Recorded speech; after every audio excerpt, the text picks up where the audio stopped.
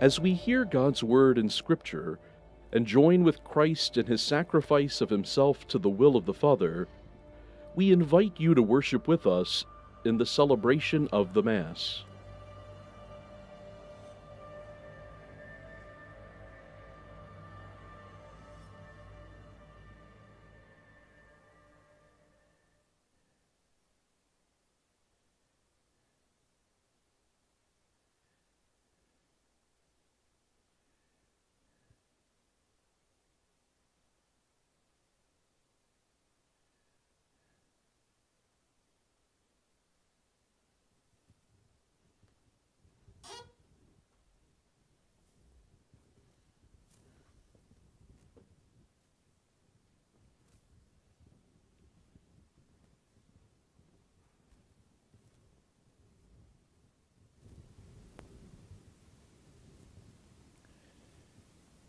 These are holy men who became friends of God, glorious heralds of divine truth.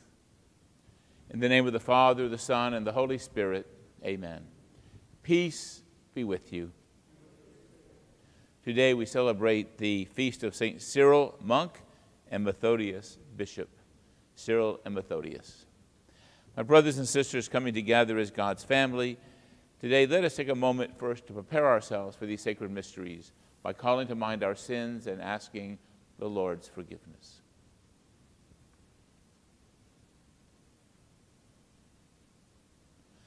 I confess to Almighty God and to you, my brothers and sisters, that I have greatly sinned in my thoughts and in my words, in what I have done and in what I have failed to do, through my fault, through my fault, through my most grievous fault. Therefore I ask, Blessed Mary, ever Virgin, all the angels and saints, and you, my brothers and sisters, to pray for me to the Lord our God. And may Almighty God have mercy on us, forgive us our sins, and bring us to everlasting life. Amen. Let us pray. O God, who enlightened the Slavic peoples through the brothers St. Cyril and Methodius, grant that our hearts may grasp the words of your teaching and perfect us as a people of one accord in true faith and right confession. Through our Lord Jesus Christ, your Son, who lives and reigns with you in the unity of the Holy Spirit, God forever and ever. Amen.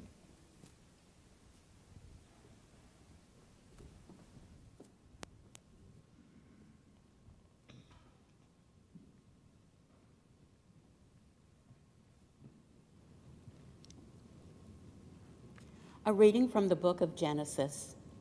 When the Lord saw how great was man's wickedness on earth, and how no desire that his heart conceived was ever anything but evil, he regretted that he had made man on the earth, and his heart was grieved. So the Lord said, I will wipe out from the earth the men whom I have created, and not only the men, but also the beast, and the creeping things, and the birds of the air, for I am sorry that I made them. But Noah found favor with the Lord.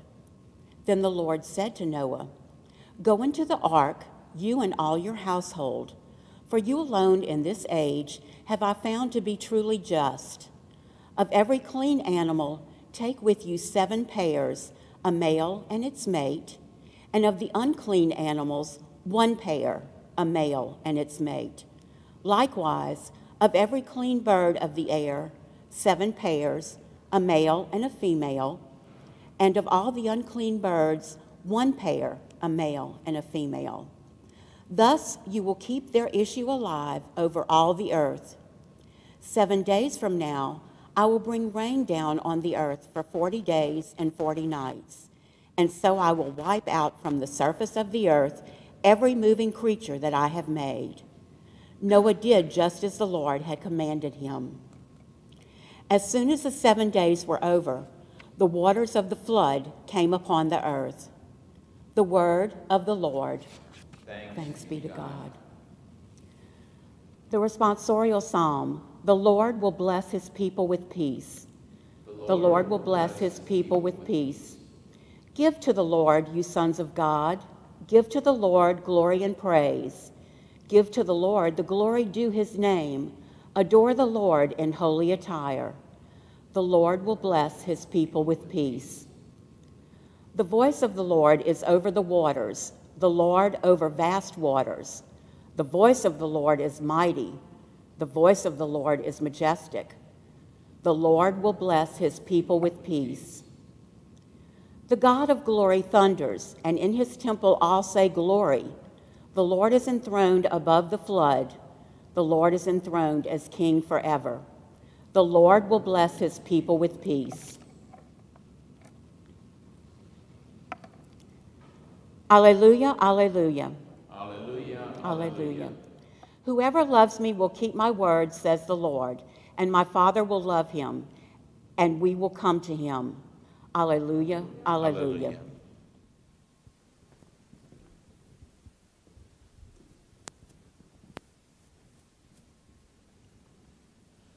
The Lord be with you. A reading from the Holy Gospel according to Mark. Glory to you, Lord. The disciples had forgotten to bring bread, and they had only one loaf with them in the boat. Jesus enjoined them Watch out, guard against the leaven of the Pharisees and the leaven of Herod. They concluded among themselves that it was because they had no bread.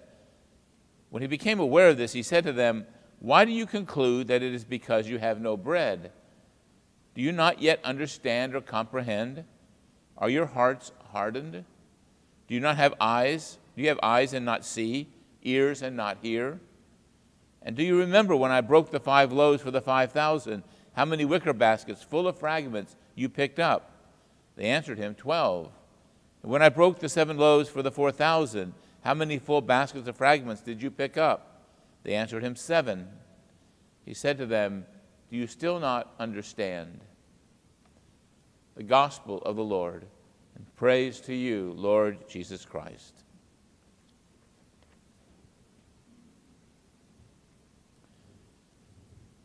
Today we celebrate the feast day of St. Cyril and Methodius. So if you're Polish or Czech, these are your saints. They are the ones that, that were sent to preach the gospel to the Slavic nations.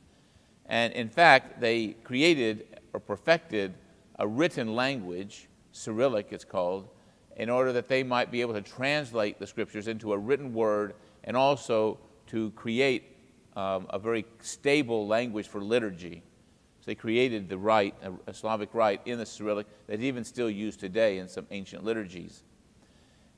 It said that they were called to Rome. They're very successful in, in preaching the gospel. They called to Rome, and um, uh, at first, some of the prelates were kind of jealous, they said, or they had some concerns, they had liturgical concerns about what they were doing with the liturgy, you know, putting it into another language, all those kind of things. But the Pope was clear. He saw, saw through all the, the, the stupid stuff, and he saw that what they did was really good. He confirmed the liturgy and promoted their work continually until they died. They lived in the 800s. But I kind of have a little connection with Cyril and Methodius only because I discovered St. Cyril's grave in Rome when I was studying there. I came upon it quite by accident. Um, and it's in, it's in a church that really has something to say about the work of being a missionary because they went into a place where Christ was not being proclaimed. And they had to present the gospel in a convincing way. Now, we see today in the, in the scriptures that Jesus tells them, for the disciples are con- concerned, they got in the boat, we only have one loaf of bread. We're not going to be able to make it. You know, we, gotta, we need to get some more food. There were 12 guys there, okay? 12 guys, one loaf of bread. That's not going to do it. So they're concerned about their stomachs. They're concerned about the bread. Jesus his mind is something much higher. Maybe he's thinking about what's happened recently. He says, Watch out. He's teaching them, Watch out. Guard against the leaven of the Pharisees and the leaven of Herod. And well, you know, they're thinking bread. Oh, well, he must be talking about bread or something. And he said, No, of course, he was talking about the leaven being don't let the spirit of, of the Pharisees or the spirit of Herod get into your hearts like a leaven, like yeast. Yeast makes something grow it, it kind of develops into something. And so don't let that get inside, it will create, a, in a sense, bad bread. It will create within you a bad spirit. Don't let that leaven get in. Remember, Jesus called us, He wanted us to go out and be the leaven, be the salt of the earth. He wants the power of His word to go out and leaven and, and create good bread in the world and create a spirit to be a flavoring of the world that brings about justice and peace and the love of God. But even the apostles had trouble getting it. You know, he said, You're so, are your hearts hardened? You've been walking with me. You're right here with me. And they're still having trouble. So it, it kind of tells you some of the difficulties that missionaries have when they're presenting a whole new thing. The whole gospel of Jesus Christ is something brand new. But, this, but anyway, so we go back to Cyril's grave. I'm walking around. There's a church down from the, um, down from the Colosseum. You might not go there on a regular tour called San Clemente it's a nice place to go because it's a very interesting church. First of all, it has a very interesting liturgical setup and some beautiful mosaics in there. You're quite surprised. It's also run by, um, I think, English Dominicans, so you can always find someone in there that speaks English. And so you go in, it's beautiful church. But then you go down some stairs and you see the original basilica. So there was another basilica equal of size that was destroyed. I don't remember how. But they built the new one on top of it, okay? So now you're beginning to see the, the, kind of the conundrum of Rome, okay? You're walking around at this level in modern Rome, okay? But when you go downstairs, you basically, they built this top, on top, so you, when you go down, you have kind of the full height almost of the original basilica underneath you. And you see the columns there, which they're using as support, along with the walls. You can see the outline go and see. And over the corner is the grave of St. Cyril. And you would think this great saint of the Slavic nation would be buried somewhere else, but he died in Rome and there he's buried. So Cyril's buried there. I think with Methodius in uh, Poland or Czechoslovakia, somewhere over there. But he got, that's why I said, what's Cyril doing here in Rome? But here he is buried in, the, in that basilica. But then you go down another set of stairs, okay? So now you're going deeper into Rome's history. And down at the bottom was a old ancient pagan Mithraic temple. A temple there to some pagan god. So what happened? Well, Christians come along. Maybe someone that was part of that little cult converted. Maybe they owned the property it was on, who knows? But they then, on top of that, they built the basilica. Well, a small, probably a small church at first, eventually a larger church. But in a sense, Christianity prevailed. That was buried. On top of it now comes a uh, Christian church and then even another church above that. So the gospel was preached and proclaimed, and the people of that little, uh, probably sect, turned, or at least some did turn to Christianity, and they converted, and they built then a Christian church on top and built up from there. And that's kind of how the gospel spread. It goes into a place where Christ is not known and proclaims the gospel. It's heard, listened to, changes hearts, and then the church begins to grow. And so today we see kind of the difficulties of that, that not everybody gets it. And you have to have a message that's understood. It's so important we talk about evangelization. If we're going to evangelize the world, if we're going to evangelize our neighborhood, or bring other people to Christ, or try to get other people to see the, the joy of the gospel, we have to present it in a way that makes sense to them, in a way that makes sense that they understand. And sometimes you use highfalutin theology words, it doesn't work.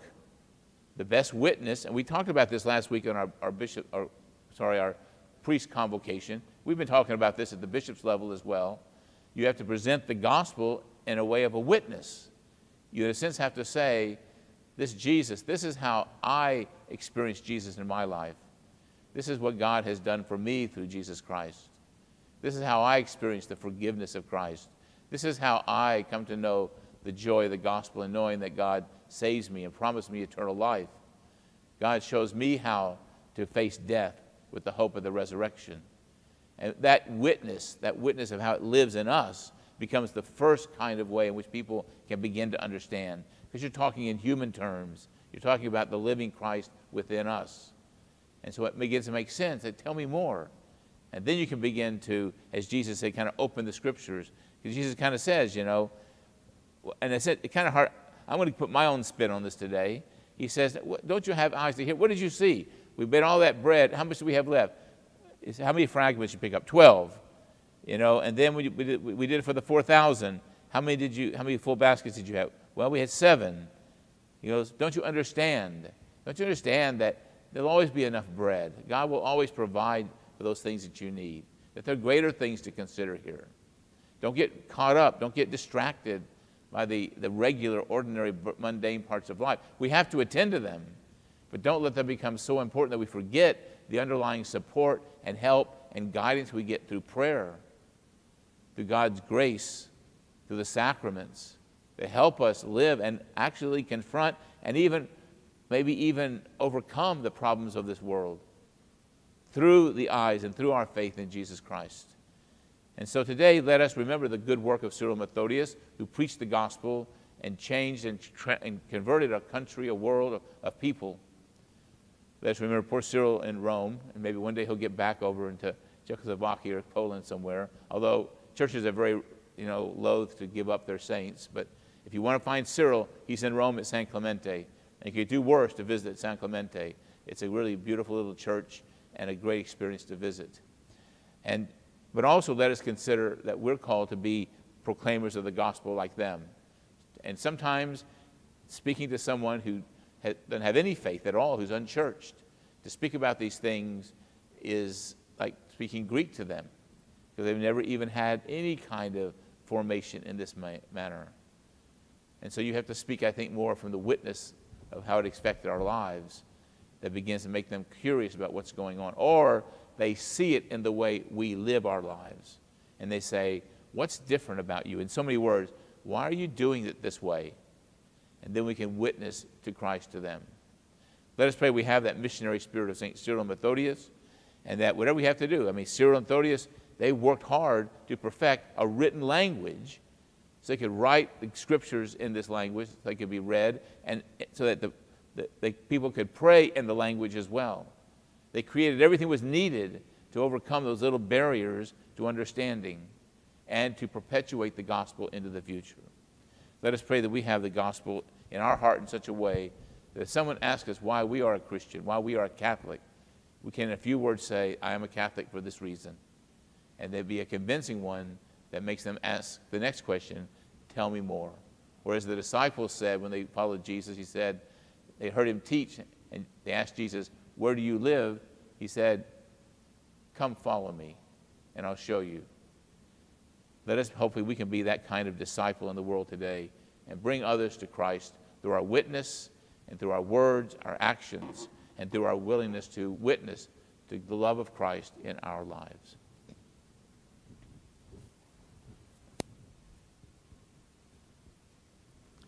Let us now take a moment to offer our prayers of petition.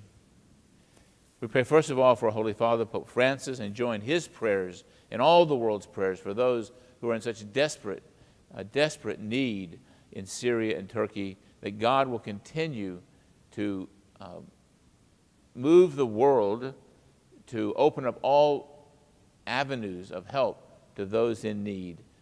And we might continue to join, and if we cannot help physically, to join our prayers every day to bear some of the sadness in our own hearts, that we might offer it up to God, that He might, through His grace and His power, move nations to help these people in such need in every way that we can. We pray to the Lord. Lord, hear our prayer. Let us pray for all those who are ill today and suffering, that God will continue to give them healing and loving caregivers. We pray to the Lord. Lord, hear our prayer. Let us pray for all missionaries who go out to proclaim the good news, that God will inspire them with a patience and a confidence, but also a determination to continue to witness Christ to the world, so that others might come to know the joy of the gospel. We pray to the Lord. Lord, hear our prayer. Loving God, hear these prayers we place before you. We pray them with confidence through your Son, Jesus Christ, who lives forever and ever. Amen.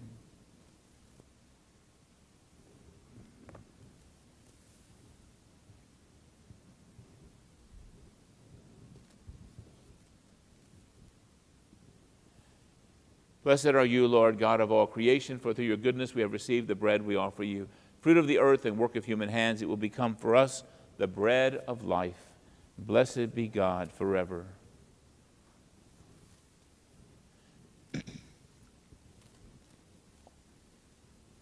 By the mystery of this water and wine, may we come to share in the divinity of Christ, who humbled himself to share in our humanity. Blessed are you, Lord, God of all creation, for through your goodness we have received the wine we offer you, fruit of the vine and work of human hands. It will become our spiritual drink, and blessed be God forever. Lord, wash away my iniquities and cleanse me from my sins. Pray, brothers and sisters, that my sacrifice and yours may be acceptable to God, the Almighty Father. May the Lord accept the sacrifice at your hands for the praise and glory of his name, for our good and the good of all his holy church. Look, O Lord, upon the offerings which we bring before your majesty in commemoration of St. Cyril and Methodius, and grant that these gifts may become the sign of a new humanity reconciled to you in loving charity through Christ our Lord. Amen. The Lord be with you. Lift up your hearts. Let us give thanks to the Lord our God. It is truly right and just, our duty and our salvation, always and everywhere, to give you thanks, Lord, Holy Father, Almighty and eternal God, through Christ our Lord. For as on the festival of St. Cyril and Methodius you bid your church rejoice, so too you strengthen her by the example of their holy lives, teach her by their words of preaching, and keep her safe in answer to their prayers. And so, with the company of angels and saints, we sing the hymn of your praise as without end we acclaim, Holy, Holy Lord, God, are full of your glory. Hosanna in the highest. Blessed is he who comes in the name of the Lord. Hosanna in the highest. You are indeed holy, O Lord, the fount of all holiness. Make holy, therefore, these gifts, we pray, by sending down your Spirit upon them like the dewfall, so they may become for us the body and blood of our Lord Jesus Christ. At the time he was betrayed and entered willingly into his passion, he took bread and giving thanks, broke it, and gave it to his disciples, saying, Take this, all of you, and eat of it, for this is my body, which will be given up for you.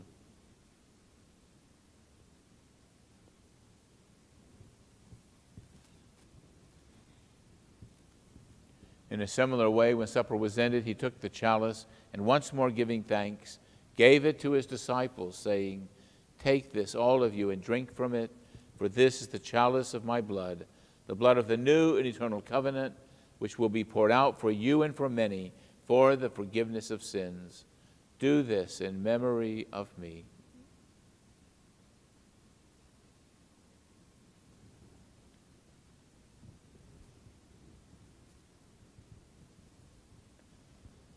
The mystery of faith.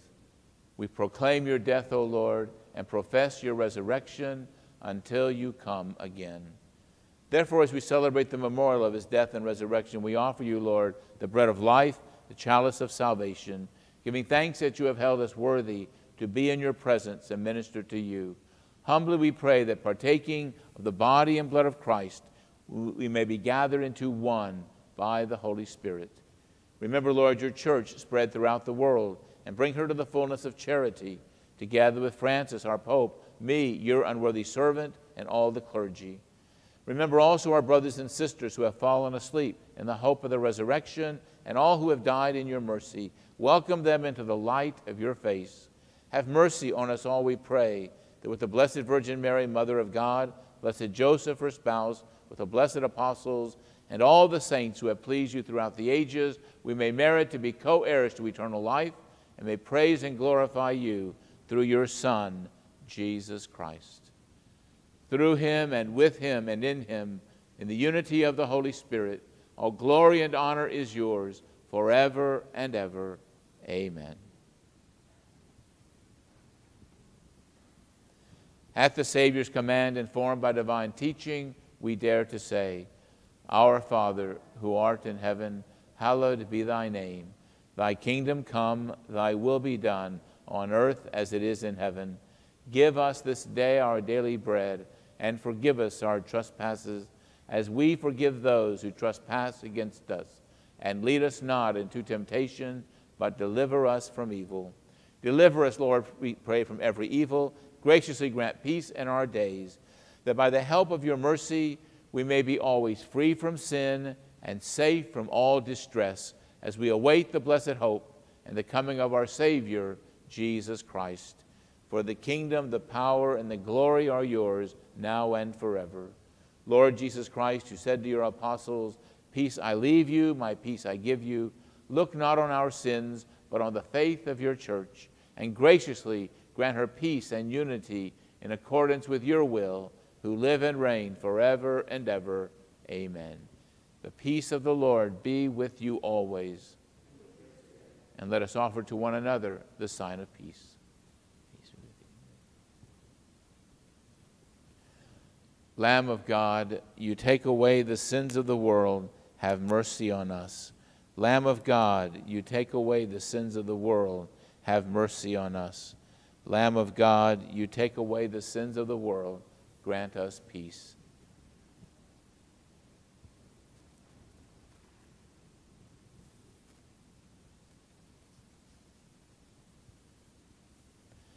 Behold the Lamb of God. Behold him who takes away the sins of the world. Blessed are those called to the supper of the Lamb. Lord, I am not worthy that you should enter under my roof, but only say the word, and my soul shall be healed. And may the body and blood of Christ keep us safe for eternal life. Amen.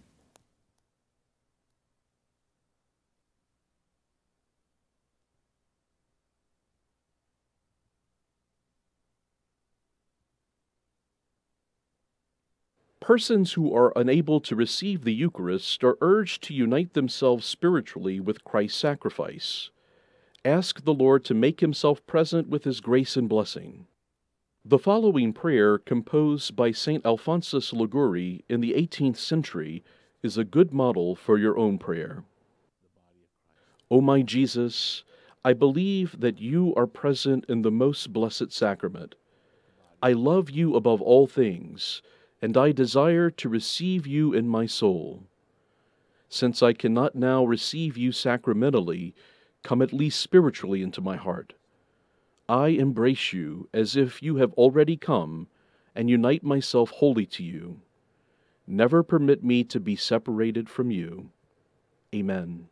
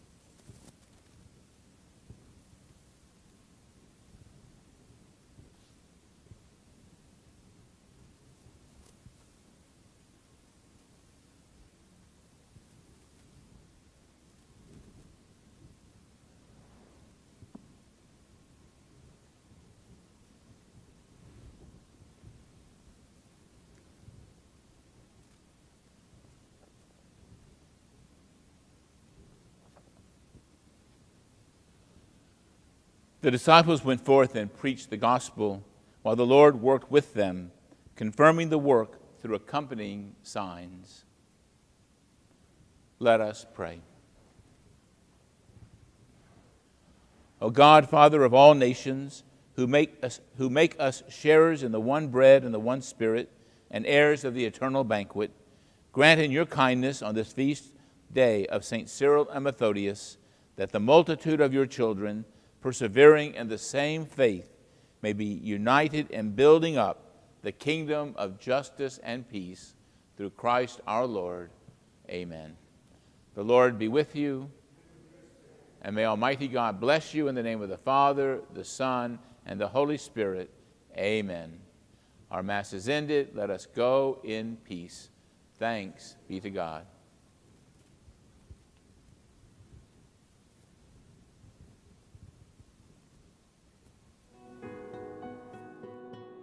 Today's Mass is ended, but our mission continues.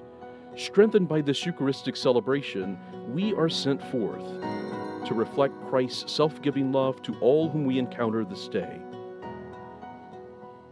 If you would like to contact us or donate to our television ministry, please write us at Catholic Life Television, Post Office Box 2028, Baton Rouge, Louisiana 70821 or email at television at diobr.org.